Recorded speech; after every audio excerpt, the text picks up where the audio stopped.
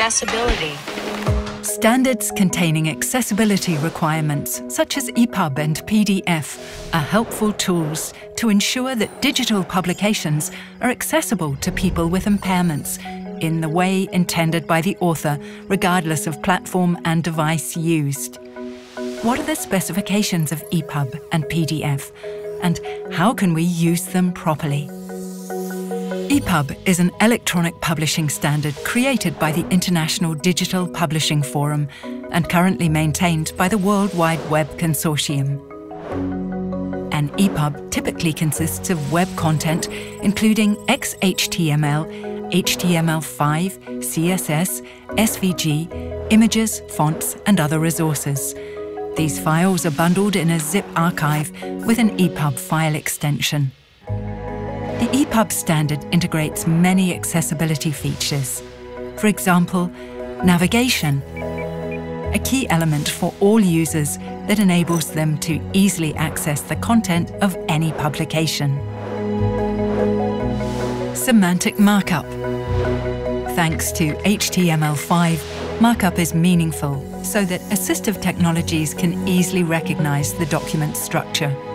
Dynamic layouts EPUB is designed in such a way that EPUB reader applications can optimize the text for a certain resolution, independent of the dimensions of the screen, by changing the size of letters and the type of fonts, by changing the color of the background. The document becomes more readable. Text-to-speech features allow control over speech synthesis settings such as pronunciation, pacing, and other voice characteristics. Alternate renditions of a publication can be provided in case the original format is not accessible for a user. For example, audio descriptions or video transcripts. The latest specifications of EPUB can be found on the W3C website.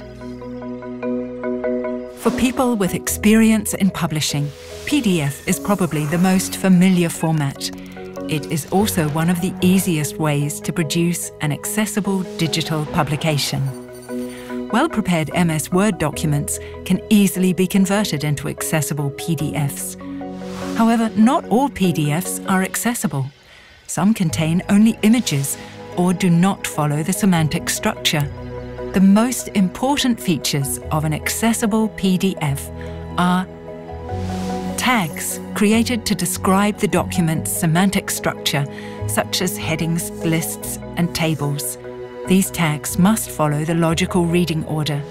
Information is conveyed by logical headings and by avoiding the use of colour or contrast as the only means to convey information.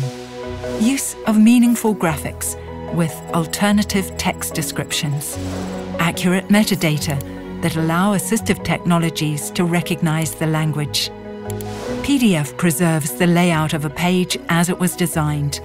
Depending on the size of the page, the layout can be difficult to display on mobile devices.